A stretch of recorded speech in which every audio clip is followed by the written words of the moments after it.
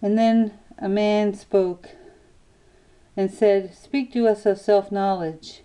And he answered, saying, Your hearts know in silence the secrets of the days and the nights, but your ears thirst for the sound of your own heart's knowledge.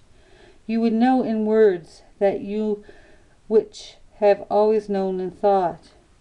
You would touch with your fingers the nakedness of bodies of your dreams. And it is well you should. The hidden wellspring of your soul must rise and run murmuring to the sea. And the treasure of your intimate depths would be revealed to your eyes. But let there be no scales to weigh your unknown treasure.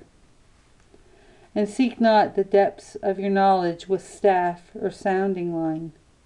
For self is a sea boundless and measureless. Say not, I have found the truth, but rather, I have found a truth. Say not, I have found the path of the soul. Rather say, I have found the soul walking upon my path. For the soul walks upon all paths. The soul walks not upon a line, neither does it grow like a seed.